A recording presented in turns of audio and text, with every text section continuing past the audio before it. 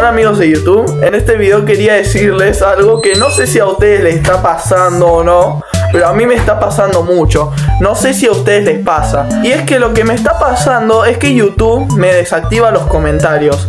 Y no sé por qué, porque yo no le pongo en la opción creado para niños.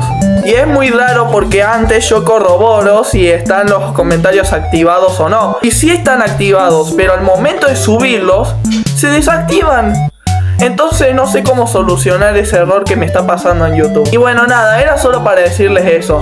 Si saben cómo solucionarlo, por favor coméntenme. Adiós.